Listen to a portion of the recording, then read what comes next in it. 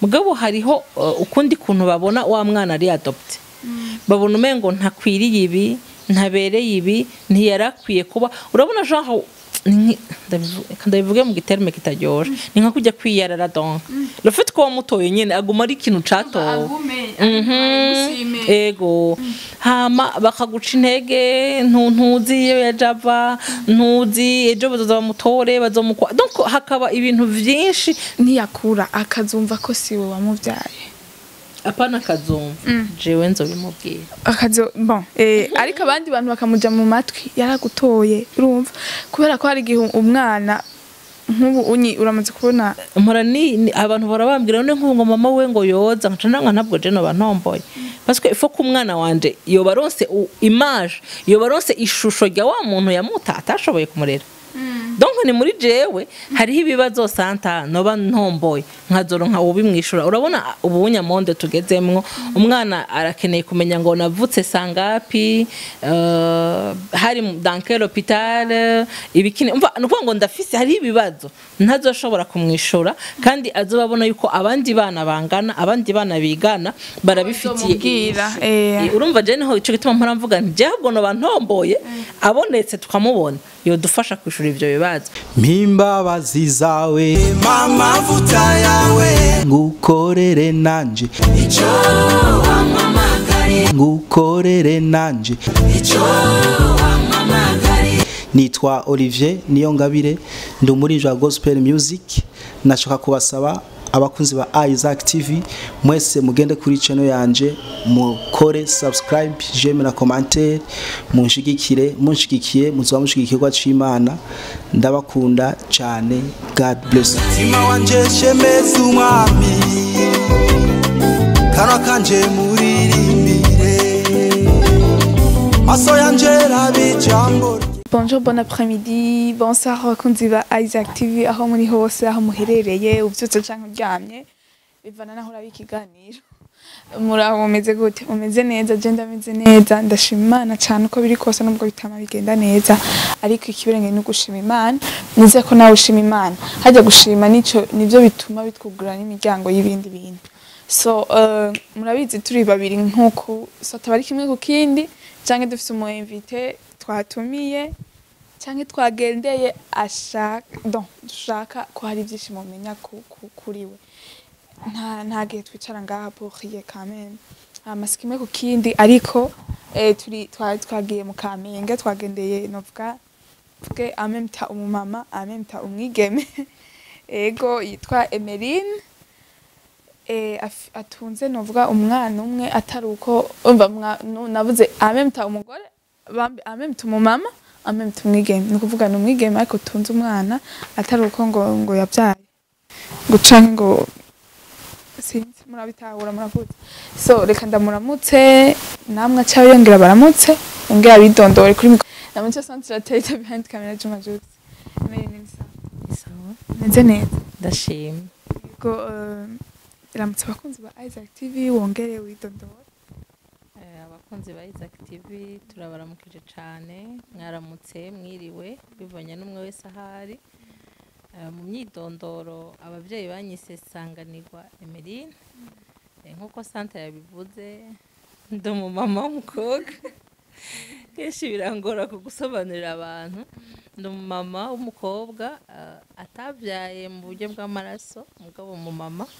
Nkaba nsanzwe nkorera bitaro by'abasirikare mu Kamenge bita imite nkaba mba mu Kamenge ni byo. Eh, en fait um, urumva hari ukuntu uri munini. Umenga cas, sinibaza ko abantu benshi batakuzi nk'ubu ari umuntu muye rimwe. Arigera ko yibaza ko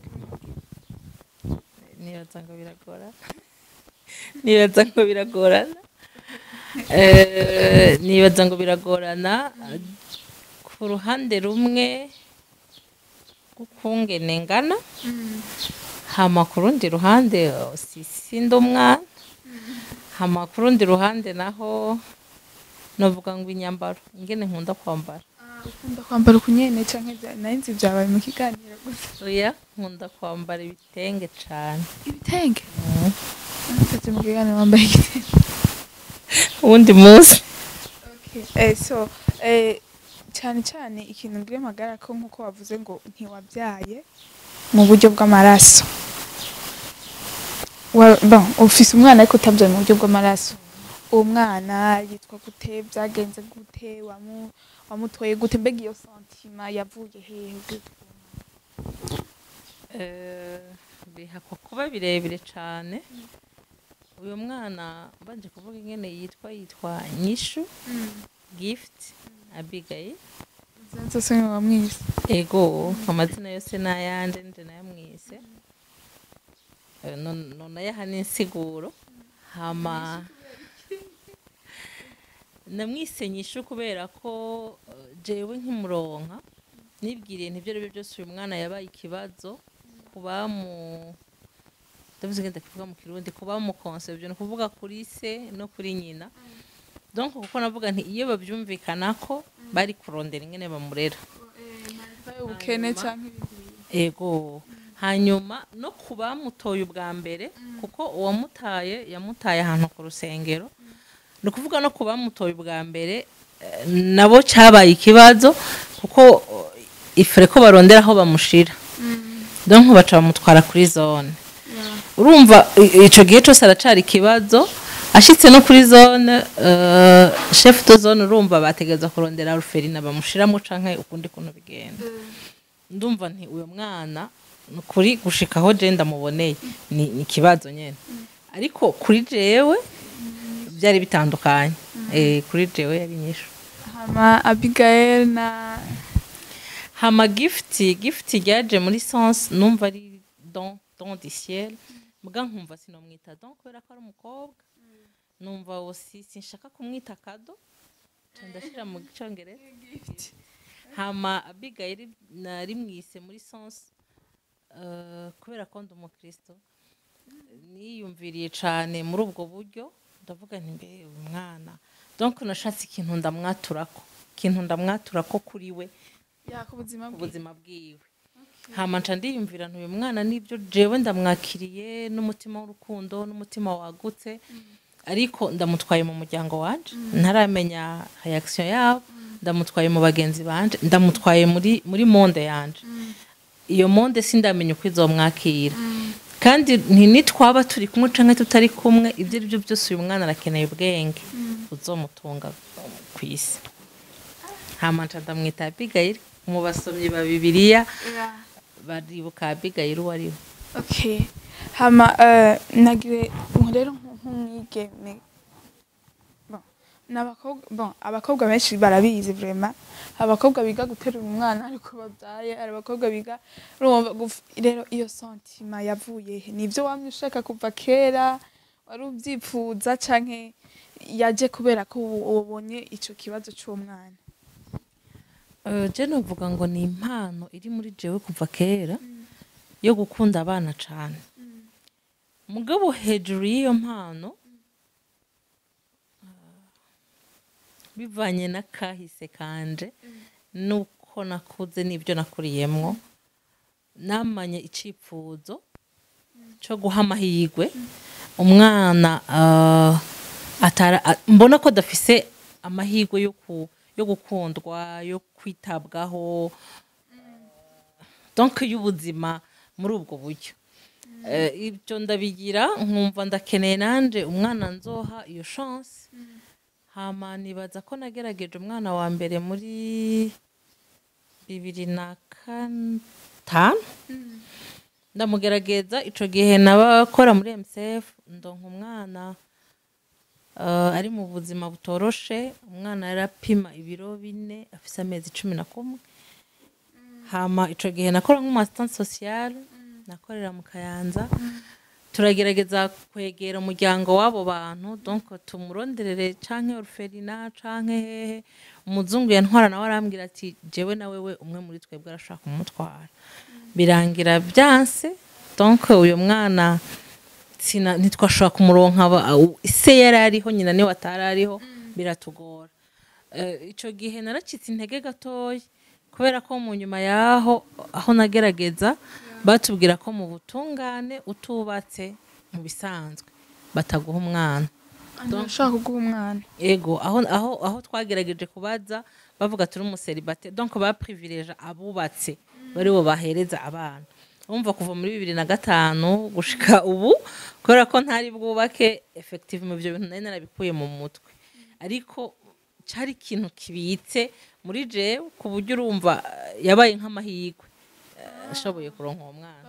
Yabaye nka opportunité présence mu buryo nawe utari witeze Eh, mbe hajya afise imyaka ingahe Abigail mu kwa kane azoba kwija imyaka ibiri. Aza kwija imyaka ibiri. Donc urumva si kera.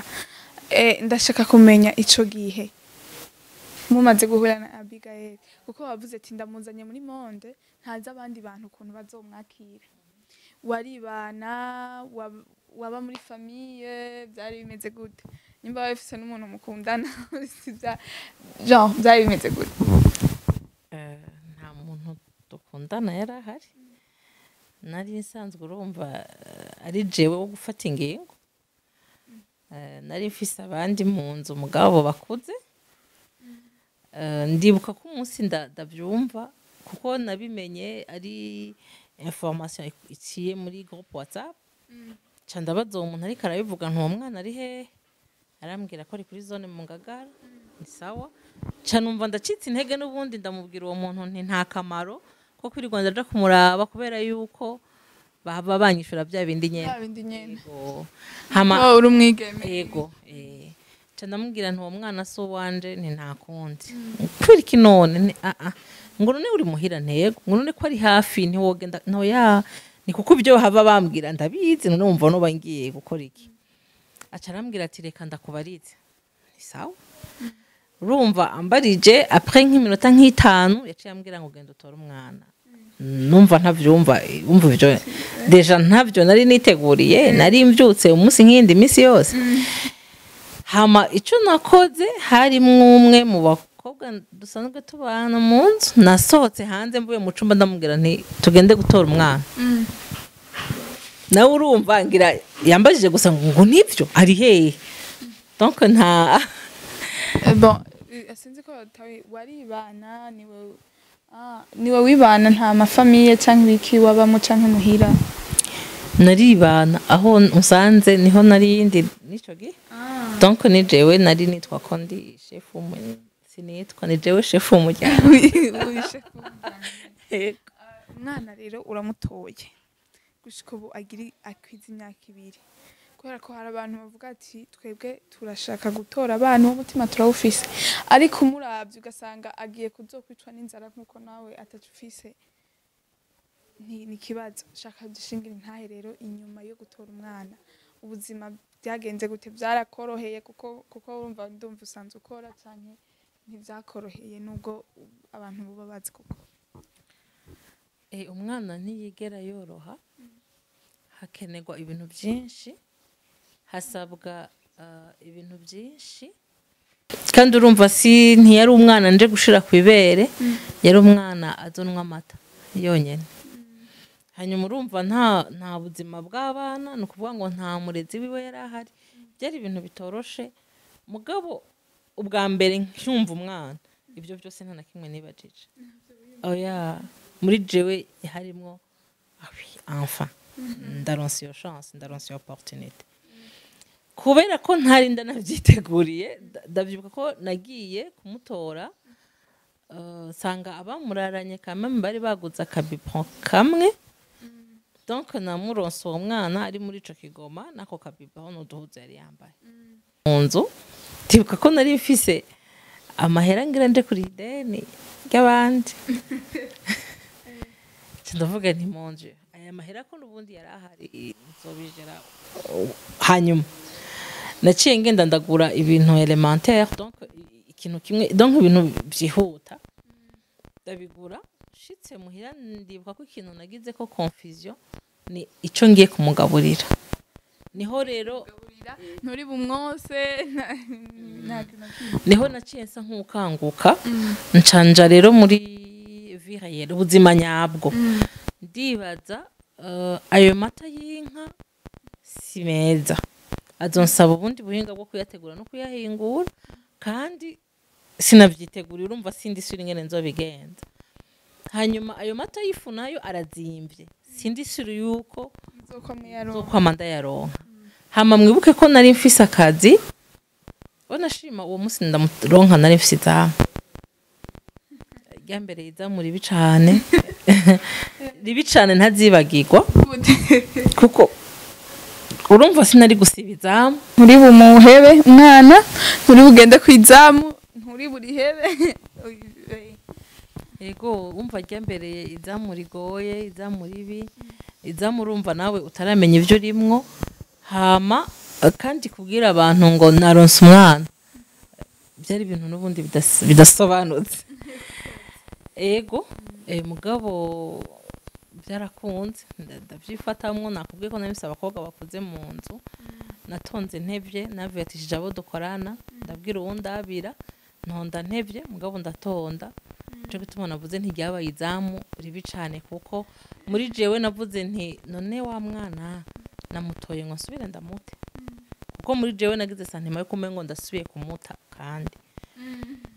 Hama eh, mugabo? Wasinziriye icyo gusinzira byo byoya ariko icyo navuga naho byagoye cyane ndashimiye inshuti ndashimiye abagenzi. Abagenzi wibaza za nshuti. Baranyakiriye umwana ufite baramwadopse nabo. Ndabona ko ba- apart bya bindi bya mbere nagutse. Atakindi kintu ndasaba kugura. Kandi umwana yanwa igikopo c'amata iminsi ibiri. Iminsi ibiri. Ariko iyo minsi ijya ijya francais nywa francele igikopo c'amata iminsi ibiri. Ariko nta munsi n'umwe amata, nta munsi n'umwe twabuze pampers. Nta kintu na kimwe yabuze. Ego amezi ane aruzura kubera inshuti kubera abagenzi kubera baranyibarukije uko nyene. Muri urwo rurimi baranyibarutsa barangemurira barandaba birantangaza cane. Ku buryo n'ubu iyo ndavyiyumviriye birantangaza. Ego ndamara amezi ane. Inyuma y'amezi ane rero. Inyuma y'amezi ane ni ukuvuga ngo umwana ukimuronka uba ukiri muri dileme ntuba urabona neza ibyo ari byo. Kandi iminsi ya mbere ubwoba bwari bwinshi muri jewe. Navuga nti ejo canke hirya y'ejo? Arashobora kuza umuntu. Kandi sinatinya ngo hoza nyina amuvyara a- avuga ati ngana atinya ko haza abantu bavuga bati baratwivye umwana. Ego ni ukuvuga ngo na- na- nakunda umwana nkiyatasha ku mwana kubera ko nagerageje uburyo bwose no ku kazi byarangoye cane cane cane kuko biragoye kuko abandi babyeyi iyo babyaye eh, barabaha congé de maternité. Barabaha isaha y'ukonsa. Mugabo jewe ivyo nta burenganzira nari ndabifiseko. Mugabo urumva nanje nari mfise uruyoya kuko umwana namuronse twamuha twese nka no, ku mupediatre naramutwaye twamuhaye nka 10 jours. Ni ukuvuga ari zo yaramatse ni ukuvuga rwari uruyoya kandi rukenera bya bindi inzoya zindi zose zikenera. Mugabo jewe sinigeze mbenefisia donc ibyo bintu urumva si- ibintu ngo basi nk'uko wamutoye umufa- umubera nk'umubyeyi ntiwigeze ubenefisa nk'ibyo umubyeyi nawe aronka. Yego kuko urumva amategeko ni amategeko. Hariho ibintu bagusaba. Urumva nanje muri uwo mwanya ibyo bintu ntabyo nari mfise. Urumva nategerezwa kwiyaranja uko ndabigenza kugira ngo wa mwana ambone kazi ndakabandanya icyo ni cyo kintu ca mbere cangoye rwose kiravuna umutima gusumba no kuri ibyo bindi by'amata n'ibindi n'ibindi n'ibindi byose. Yego. Donc ico nego ndavuga inyuma y'amezi ane ku- vy'amata umwana akenera ivyo gufungura canke impuzu. Wabadanije wimenya canke hagiye haza izindi nzira vyagenze gute? inyuma y'amezi ane. Gushika ubu gushika ubu mm, turabayeho. Nanje hari igihe ntamenya ingene vyagenze ariko turabayeho kuko ikintu ca mbere nihaye ihangiro. Kubera ko umwana ndamuronse habaye ibintu byinshi havuzwe byinshi byiza na bibi. Ibibi vyavuzwe n'ibihe barashobora kubwira nka- nk'abo nari nsanzwe ndaba ati ubu c'est fini biraheze muravuye kuri ntazosubira ego. Ntazosubira hanyuma bakabwira nk'abaniyesi n'abaneve ngo ntimusuye kumukina ko tantine ubu byahindutse. Tuba ari utujambo nibaza ko abantu bataha agaciro. Mugabo n'utujambo turemereye. Kuko eh, jewe twarankora ko ku mutima kandi canigira ingingo nti ntegerezwa gukora inshingano zanje zose nahora nkora. Uyu ntaramuronka kuko ikintu cya mbere na nanse cyaca kintu kuri mwana ari ibibazo ahashitse. Ni bwo kuri jewe si ikibazo n'inyishu umva ifo ko inyishu kuri jewe n'abanje n'ibyo nari aha urumva rero navuga nti ntegerezwa nimba nzoguma mu madeni nkiyamfonsa nkiyamfonsa amafu mugabo ntegereza kuguma nkora ibyo nahora nkora imbere y'uko uyu mwana aboneka. Nyatari, eh, nk'ikintu uvuga ati eh, cyahindutse. Utari witeze imbere ko umutora nk'ubu uko kumbura ukimutora hari ukuntu wabona ibintu ko bizogenda. Niko byagumye bigenda. Canke nimba byarahindutse byagenze gute? Ufite nk'imuronka ninjiye mu mu ishamba ntazi niko nobivuga. Nta na kimwe umva nta mwanya na ronse ni ukuvuga ngo ubundi hari abana badoptwa mugabo umuntu yariyumvira ati ngiye kwadopta umwana. Akiyumvira ati ngiye kumurondera donc akaja muri processus. Mugabo jewe nararyamye hama mvyuka mvyukana umwana. Donc ni ukuvuga ngo si narose umwanya wo kwibaza ngo ngo bigiye kumera gutya ngo bigiye kugenda gutya. Ni ukuvuga ngo nagenda dekuvura situation ku munsi ku munsi uko turi kumwe selon ibyo duhuye ama challenge duhuye mugabo deja ari nga sinigeze niha ishusho. Eh ni ukuvuga ngo ivyo nagiye ndahura navyo ibyoroshe ibyiza n'ibibi nagiye ndabibamwo ku munsi ku munsi gushika uno munsi sinigeze niha image ngo bizogenda gute. Bo ngaha ikibazo ngira eske turazi ko uramaze kubona ko hariyo nk'abantu bihakana umwana kama ariko umwana atigeze abona papa wiwe. Akamubona. Umwana akabura amahoro akavuga ati ni, papa. Yaramwihakanye.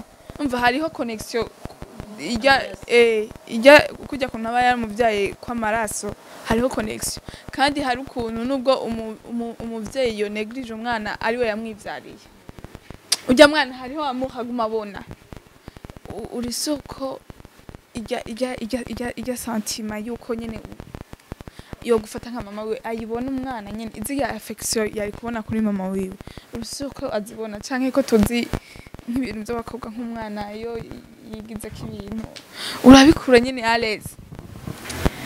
Eh, jewe ibyo icyambere ibyo si ingorane kuko jewe ndi mukuru. Hama nararonse chance yo kurera abatoyi banje. Ni ukuvuga abana ndabamenyereye. Hama eh, nkora kwa muganga osi narakoze 5 ans muri neonatologie donc guhindurira abana ni ni ni ni ibintu byoroshe wanje. Ibintu ibyo si ego ibyo si ikibazo hama na affection rero Bijanye y'umuvyeyi na- na affection? Gushika uno munsi. Naragerageje. Eh, nkimuronka effectivement ic- ic- ubwo bwoba nari ndabufise. Nawe ntiwobubura ndavuga nti umwana amenya nyina o- donc deja umwana avuka azi ijwi rya nyina. Avuka tujyanye iyo wibungenze umwana aramenyera ijwi ryawe ara- arakumenyera umwana arumva umwana nuko bimeze. Ni ukuvuga ngo hariho i- ya mama w'umwana n'umwana. Ibyo ni naturel. Ni ukuvuga iyo iba pendant neuf mois. Jewe iyo ntayo nigeze. Umva si- iyo chance ntayo nigeze ndonka umva ubwo bwoba nari ndabufise effectivement bwo bwo bw'ivyo bintu. Nico gituma urumva nagize n'ikibazo cuko urumva nta ajya amasaha yandi bahabwa iki kugira ngo mbe disponible umwana mbone kenshi. aguma kubona. Ntari ndayafise vyanteye ikibazo kininiya cane. Nkagira mbere n'agahinda gose mugabo ku mwana ntacyo byigeze bihe ku mwana no jewe na- novuga ko nagerageje hari ukuntu niyaranjije ndahaba umwanya wose ushoboka. Amezi atandatu ya mbere narahagaritse ibintu byose. Ni ukuvuga atari akazi no gusenga. Nta kindi kintu nasubiye gukora. Amezi atandatu. Ego. Hama ndi muhira naragira hariho abo kwa muganga baca babyumva hariho metode kanguru. Ni kuryamika umwana mu gikiriza cawe atambaye nawe utambaye hano. Akakumva akagumana nawe. Nkajya ugiye kuryama ukamuryamika Eh, narafata nk'amasaha abiri. Eh, turi muri iyo muri iyo metode donc akagumamo kugira ngo anyumve. Hanyuma kandi nakubwiye ni jenda umukristo ikintu ca mbere na- na- na- nakoze ndamuronse na- na- nasenga mbwira imana ngo utegerezwa kudufatanya. N'uyu mwana. Ah, connection connection nini ndayisaba. Cyane ndasenga rwose nico kintu ca mbere nasenga.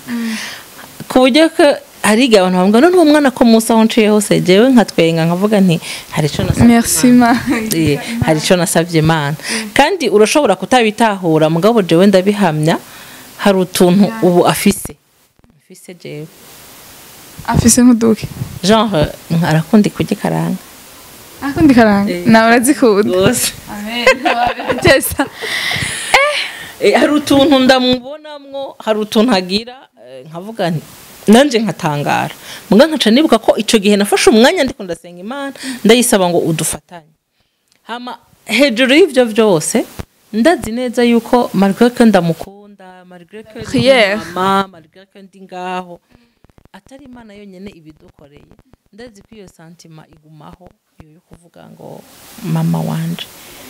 Donc wamvyaye eh, kumva ko hanyuma kandi nk'ubu ariko arakura ejo sindahazi ejo nzoshobora kurongorwa. Mugabo nk'ubu ngumye gutya osi urumva ibibazo bigumaho. Agira ca kibazo ca paternité.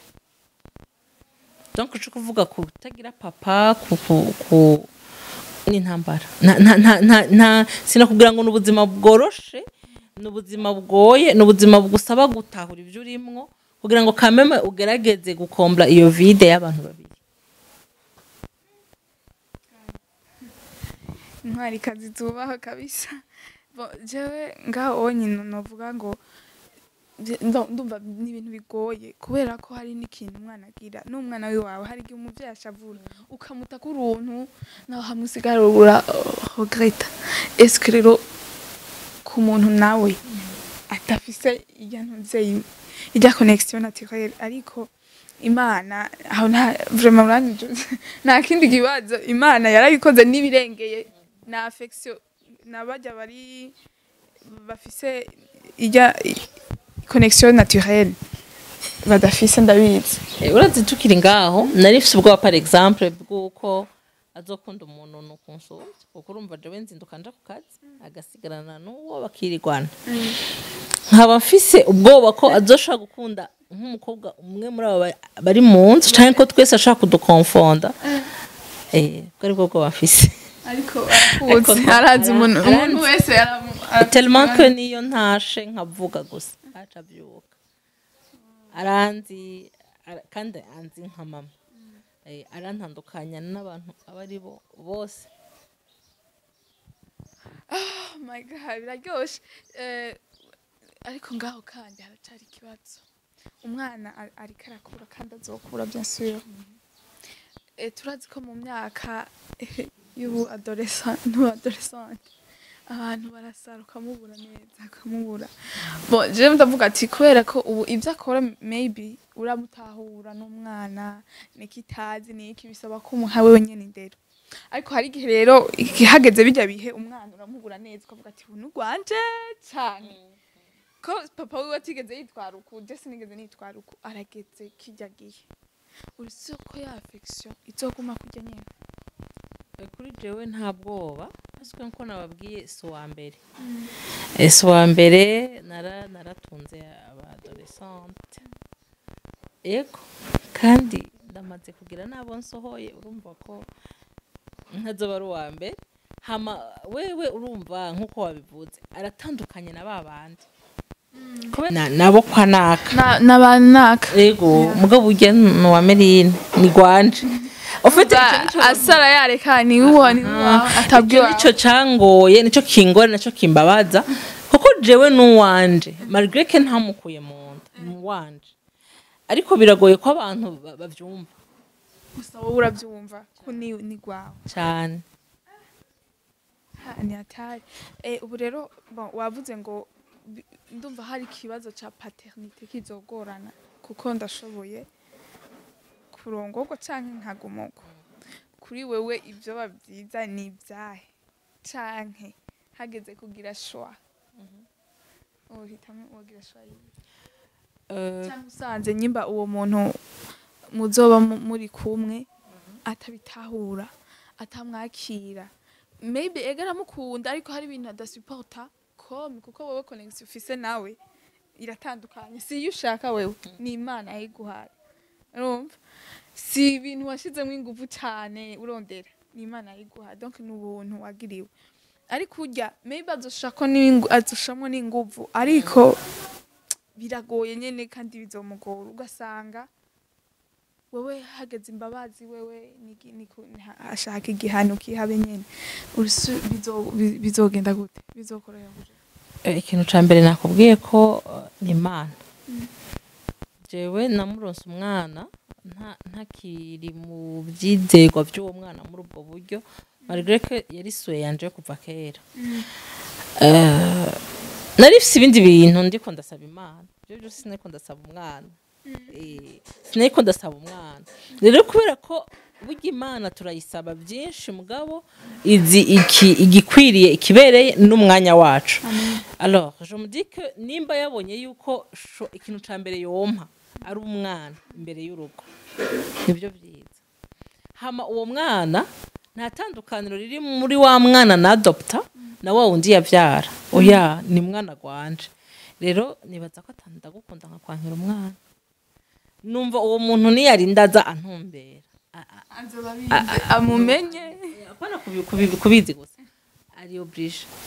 Eh, azitoza nawe kumukunda.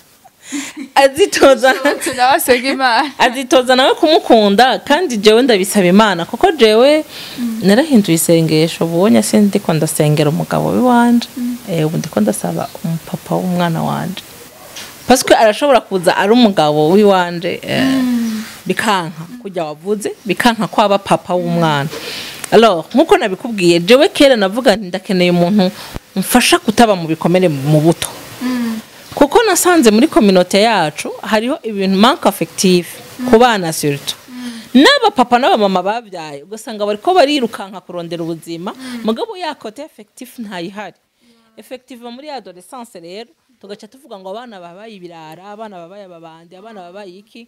Ngabo hari igihe ibintu ubijamwo kugira ngo urondere affection. Donc genre urondere umuntu akwitaho agukunda akuremarke kubera ko ba babyeyi bawe baraguha umukate barakwambika baraguha agent de poche mugabo kwa kukuba hafi kwa kukumviriza kwa kukuganiriza Kwagutahura. siho bari. Ego. Nico gituma rero mvuga nti jewe ubunya ndavuga nti mana jewe ndakuze ndashobora no kwasima shwa yanje. Mugabo kameme uyu mwana nimba mvuga ngo namutoye muri sense yuko ndamuha chance yuko kuba epargne n'ivyo bintu byose ifo ko nsengera umupapa wiwe. Kuko nk'uko wabivuze biragoye biragoye. Kuko si bya bose. Kumva ko uwo mwana umutora ukamukunda akaba gwawe vy'ukuri urumva biragoye nyene nico rero mvuga hama wavuze ngo si que je fasse un choix il est clair c'est ma fille en premier Natali. Eh, wo- ariko wavuze ko kuva kera nubwo wabishaka amategeko ntiyigeze akorohereza amategeko na yo byagenze gute amategeko novuga ngo kameme ico gihe co muri 2000 quelque na- na- na- nabibaza par rapport y'uno munsi hariho amelioration ntoya. Mugabo vraiment nimba ari ibintu bishobora gusubirwamo numva nosaba. Bigasubirwamo gatoya. Byakoroheye ntibyoroha kubera bakubwira bati utegereza gutunga uwo mwana inani kugira ngo ugende rero muri sentare gushingisha urubanza kugira ngo ugire processus ya adoption byose rero warabikoze Natali. urumva umwaka ni muremure uri kurarindira uri kurarondera hanyuma osi uwo mwaka uheze uca ugenda ugashingisha urubanza. Urumva urubanza ni nka kujya ku izindi manza zose ni procedure. Izo manza rero kugira ngo umushikire ni, ni manza zibiri. Babanza kugusaba ku- kugira urubanza rwa mbere ugasaba ko sentare yemeza ko uwo mwana yatawe. Donc i- icyo bakakiguha hanyuma ugaca umva deja bisaba nka 3 mois kugira ngo ibyo bihere hanyuma ugaca ushingisha rero rwa kabiri rusaba uburezi burundu. Eh nago urumva iba iyindi processus. I- iyo attente ni nini vraiment. Urumva nk'ubu nka jewe mba ndiko ndamuvuza ijana ku ijana. Ngira gute? Alors ko uvuga ati nari gushobora kumushirisha kuri mituweli Eh, ikibazo cya nyuma rero nk'abantu bahora batinya. Kwadopta petetre ari abamama canke ari abakobwa nyene kubw'amategeko kubw'ingorane cyangwa intambamyi zitandukanye uburyo bufadika amategeko na affection nike kintu wababwira Eh, imbere y'uko mbwira abo basanzwe bashaka kwadopta kubera ko abo bo burumva mu mutima biriyo Eh, nabo bitariyo wabwira umubarire njyewe mpera kubo bitarimwo surtout kuko ni ho havira ubwoba bwo gutinya kwa dogita ni ukuvuga ngo eh, mu kibano ngira ngo ni muri sosiyete yacu ntitubimenyereye. Mugabo hariho eh, ukundi kuntu babona wa mwana ari adopte babona umengo ntakwiriye ibi ntabereye ibi ntiyari akwiye kuba. Urabona reka ndabivuge mu giterme kitaryoshe ni nka kujya kwiyarara le fait ko wamutoye nyine aguma ari ikintu catowe Mhm. ego. Kubera ko hari igihe bakubwira ngo yo ngo wa mwana asa neza. Yo ngo araberewe. Donc ukamengo ntiyari akwiye ku- kuba muri ibyo nk'abandi bana. Hama bakaguca intege ntu- ntuzi iyo yaje ava ntuzi ejo bazoza bamutore bazomukwa. Donc hakaba ibintu vyinshi negatif donc ivyo bintu iyo bije rero ku muntu adasanzwe afise urya mutima ukomantaye canke adasanzwe ari determine kuri ico kintu biragora kandi biravuna. Urumva rero na- nashaka ko two- two- twoja muri mode yo kuvuga ngo ujya n'umwana. Nk'abandi bose. Hanyuma arafise nka- nk'abandi bana bose. Kandi eh, yari akwiye kubaho nka kurya abandi bantu bose babayeho. Hama bakumva yuko ku- kuba uwo mwana ari uwawe si gise gusa. Oya ni kuba ko wewe wumva ko uwo mwana ari a- araba gwawe. Hama bakagerageza nyine kutaba trop negatif kubera ko ibyo bintu biraca intege. Navuze navuze n'ikindi ntiyaba mu butungane byo ushobora bakareja gatoya kugira ngo wa muntu kameme Afise, bimworohere kuronka ibindi bintu byo byo byokunda kuko jewe nk'ubu hariho umuntu nzi w'inshuti yaronse imbere y'iwanje ariko gushika n'ubu ataratangura processus kubera muri we harimwo ubwoba. Harimo ubwoba. Ego harimwo ubwoba. Hama rero aba- abashaka ku- kugira numva umengo ni ni ibintu twokwicara tukadebata cane ariko abashaka ku- ku- ku- kuja muri iyo sense yo kwadopta abana jewe no bankuhaje kubera ko umwana n'umugisha. Ntiyigera abura ikintu nubwo wowe wamutoye agaragara ariko ibindi byaraje umwana umwana n'umugisha hanyuma ubwo ahanini wiyumvira ngo muri adolescence ngo none ngo niyakura ngo none n'uwo wabyaye arakwankira. Ego ahubwo bigeze hageze igihe akavuga ati kubera ko ya- yavutse hari abantu wamutoye hari abantu bamubona. Niyakura akazumva ko siwe wamubyaye. Apana kazumva jewe nzobimubwira akazo bon eh, ariko abandi bantu bakamuja mu matwi yaragutoye urumva. Kubera ko hari igihe umwana nk'ubu unyi uramaze kubona nk'abantu ba- bareze n'abamahatre ugasanga umumahatre yaramutoye umwana yamureze afise nka deza atanguye kukwiza kenza rero. Umwana yarabizi ko atari mama wiwe kandi yarabibona ko amukorera ibyo ashoboye. Ageze aho hantu. Kubera ko abonye ko ibihano bitanguye kuba bivanye n'uko umuntu agenda arakura. E, aciye avuga ati e, ko kandi nivyo vya bintu nivyo igituma mfata uku kose ni kubera atari mama wawe akavuga ati jewe rero ibi vyose uriko urabigira kubera ko atari vyose kubera- ico kintu deja ndacitegura ko kubera hariho nk'utujambo ubwira umwana canke hari ukuntu ushobora gukubita umwana kubera yuko nyene wamuvyaye nyene ntaza kurondera ngo urumva ngo urumva arazi ko ari ni mama Eh. eh mugabo wa mwana deja ifo ko donc wa mwana umurera nawe uri muri iyo sens tu es sa mama mugabo tu ne seras jamais tu ne remplaceras jamais la vraie maman. Donc wamuvyaye nico gituma eh, mpora ni ni- abantu barabambwira none nk'ubu ngo mama we ngo yoza nkaca nanga ntabwo je noba ntomboye. Parce que ko umwana wanje yoba aronse image yoba aronse ishusho rya wa muntu yamuta atashoboye kumurera. Donc ni muri jewe. Hariho ibibazo santa noba ntomboye. Nkazoro nka ubimwishura. Urabona ubu nyamonde tugezemwo. Umwana arakeneye kumenya ngo navutse sangapi uh, hari mu- dans quel hôpital ibikini. Umva nukuvuga ngo ndafise hariho ibibazo. Ntazoshobora kumwishura. Kandi azobabona yuko abandi bana bangana abandi bana bigana barabifitiye eh. Eh, urumva je ni ho ico gituma mpora mvuga nti jewe ubwo noba ntomboye abonetse tukamubona. Yodufasha kwishura ivyo bibazo. Hama mpora mvuga ikindi kintu eh, si si kubera ko iyo ka gusa antuka hari igihe muhura n'umuntu bivanye n'uko agufata n'uko yakwakiriye. Uwo muntu naho borara baramuguteranya ko gute? Ukumva ko bidakunda. Kubera ko hariho ahantu we n'uwo muntu mwageze. N'ubu mwana rero ni uko kuri icyo je nta bwoba mfise. Ngerageza kumuha tout l'amour que je peux affection yose nshoboye kumuha donc n'ibintu materiel jewe je préfère ko hari ico mbura ariko we ntihagire ico abura ndagishoboye hanyuma nivyanka jewe sinzo kwita kumwikoma mugabo ndazi neza uko tuzoba twarakuranye ibyo rero byose naho ntazoramplasa wa wundi nawe azotahura so eh, Merine kandi ndagushimire ndakubwira ko uri intwari si ibintu vyoroshe kuko urumva n'abababyaye hariho ababata rero pourquoi pas ku muntu naho uta- utabyaye ni igikorwa kitoroshe kandi nibaze ko nubwo ari umugisha ntazobera umugisha wenyine azobera umugisha igihugu azobera umugisha n'amahanga so eh, reka ndagushimire cyane ndibaza twaganiye neza hama courage n'abandi ndibaza bikunze uzobakira murakoze cane imana ishoboje imana ishoboje n'abandi. Eh, eh, umuntu ushaka emerine wumvise utari pre yo kuba papa w'umwana. Ya ivyo nta birimwo so abakunzi ba Isaac TV reka ndabashimire ndababwira ko ndabakunda cyane murabizi turi kumwe namwe tuba twumva tumeze neza. So eh, gira subscribe ikiganiro kikuryoheye usharinge n'abandi.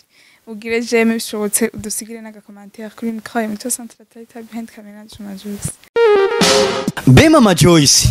Kumenga wataye umutwe n'amayi reka cyareka papa gloria aho ubona nataye umutwe. Mu mezi w'uku kwezi nari mfise urubanza rwa dote na mariage ya kaga kuzine kanje. Aho rero mama na papa wiwe sibo bazoba bari bari mu gihugu ca canada. Bashaka kubikurikirana ikibiriraho kuva bitangure mpaka bihere.